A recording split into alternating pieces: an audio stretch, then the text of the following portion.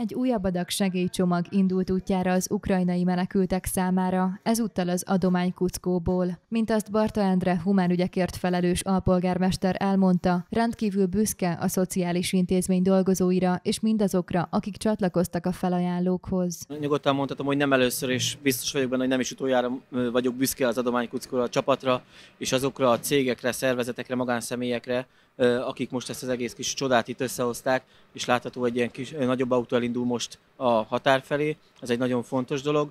Azonban még fontosabb, hogy egy még komolyabb dolog vár ránk az elkövetkezendő időszakban, hiszen már most látható az, hogy a menekült hullám Dunóiváros sem fogja elkerülni, minden bizony a jövő héten már megérkeznek az első menekültek ide Dunajvárosba is, az ő állátásukra is folyamatosan kell gondolni. Én már akkor is nagyon számítani fogok az adománykuckó csapatára, illetve mindenkire, aki ehhez az akcióhoz is hozzájárult. Az alpolgármester hangsúlyozta, természetesen folytatni fogják a munkát. Én azt gondolom, hogy az elsőleges természetesen, hogy célzottan minden egyes adomány odaérjen, annak jusson, akinek kell, ezért az országos szervezetekre nagyon nagy szükség van, és hogy már látszódik Dunajvásban sem ez az egyetlen ilyen akció, én azt gondolom méltán lehetünk büszkék a városunkra, ennek ténylegesen így kell zajlania, nagyon jó ez a fajta összefogás, és hát ne legyen rá szükség, de azt gondolom, hogy egy hosszú hónapos munka vár még ránk ebben az időszakban, és tényleg az kell, hogy mindenki meg tudjunk maradni, egyrészt embernek maradjunk meg, és megbirkozunk azokkal a feladatokkal, amiket az élet hoz nekünk.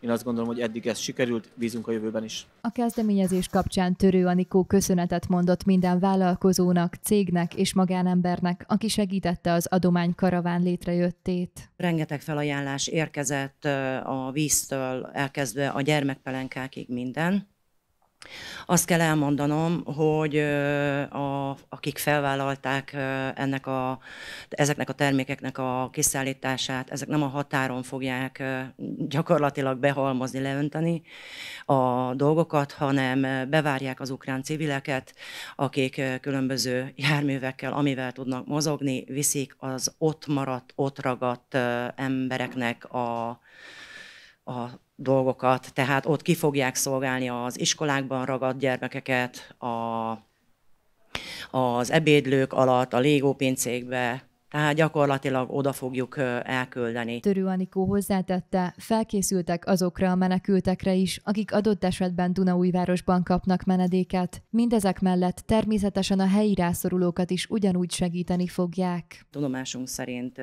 úgy tűnik, hogy befogadó állomással lesz Dunaújváros is. Család egyesítés jegyében itt is szükség lesz azoknak a családoknak a, az ellátásra, akik itt lesznek. Természetesen nem feledkezünk meg, és elsőbséget élveznek a helyi, illetve a falvakban élő rászoruló emberek igényei is. Nyilván őket is egyformán fogjuk kiszolgálni. Azon városlakók, akik szeretnék segíteni az ukrajnai menekülteket, az önkormányzat hivatalos oldalán, valamint a Dunaújváros online-on megjelent összegzésben találnak bővebb információt.